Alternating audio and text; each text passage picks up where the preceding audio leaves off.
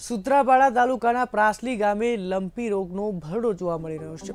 સોથી વધારે ગાયોના લંપીગ્રસ્ત વાયરસથી મોત થયા છે. તંત્ર દ્વારા કોઈ પણ પ્રકારની વ્યવસ્થા કરાઈ નથી. તળાવમાં ગાયના મૃત્યુ, મૃતદેહને ફેંકી જતા રોગ થવાના લોકોમાં ભય જોવા મળી રહ્યો છે.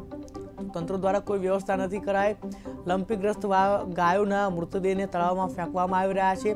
તો સુત્રાપાડા તાલુકાના પ્રાસલી ગામે લંપી રોગે ભરડો લીધો છે પશુઓનો અને તેને લઈને સોથી વધારે ગાયોના મોત થયા છે. તંત્ર દ્વારા કોઈ પણ પ્રકારની વ્યવસ્થા કરાય નથી. તળાવમાં ગાયના મૃતદેહને ફેંકી દેવાય છે.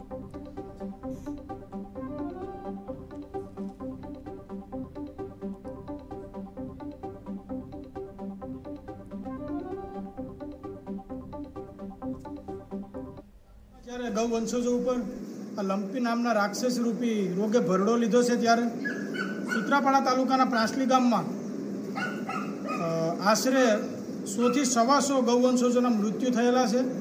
ને હજુ પણ મારુતિધામ ગૌશાળામાં આશરે પંદરથી વીસ ગાયો આ લંપી નામના રોગની સારવાર હેઠળ છે.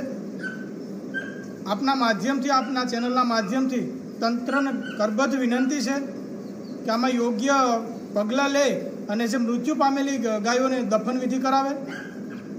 અત્યાર સુધીમાં તંત્ર દ્વારા કોઈ પણ ગામની મુલાકાત લેવામાં નથી આવી. તંત્ર દ્વારા કોઈ પણ સાવચેતીના પગલાં નથી લેવામાં આવેલા. ઓગણીસો બાસઠ એમબીડી એમબીડી દ્વારા આજુબાજુના દસ, પંદર ગામોમાં સારવાર અર્થે એ લોકો જાય છે અને બીજા ગવર્મેન્ટ વીઓ વાઢિયા સાહેબ દ્વારા સારવાર આપવામાં આવે છે. તાલુકાની ટીમ, જિલ્લાની ટીમ કોઈ પણ ટીમ દ્વારા આ ગામની મુલાકાત લેવામાં નથી. કપસી વાયરસ એવો ઘરડો મારી ગયેલ છે કે ઘરે ઘરેથી ઢોર મરે છે, ગાયો મરે છે, તો એને નાખવા માટેની કોઈ વ્યવસ્થા નથી. અહીં જેમ તેમ આવીને ફેંકી જાય છે બધાય. સરપંચ દ્વારા ખાડા કરવામાં આવે છે તો એમાં પણ કોઈ ઢોર નાખતા નથી ને દાટતા નથી. અને આમાં ઢોર ફેંકી જાય છે, આ પાણી અમારા ગામનું તળાવ છે ને એ પાણી ગંદુ થાય છે અને એ પાછળ જતા પાણી વહી અને ગામની ત્યાંથી પસાર થાય છે. તો આની લીધે કોઈ મોટા રોગ થવાની પણ ભીતિ છે. એટલે તંત્ર દ્વારા સુત્રાપડા તાલુકા દ્વારા કોઈ પણ કાર્યવાહી કરવામાં આવી નથી. એટલે અમારા સરકારને એવું નિવેદન છે કે આની માટે કોઈ પણ